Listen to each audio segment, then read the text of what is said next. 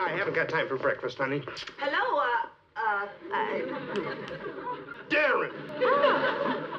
That's right. Please, Endora, not on an empty stomach. now stop it, you two. Talk about children. Now, darling, five minutes won't make any difference. Sit down and have something to eat. I'm too tense anyhow. I'll see you tonight, honey.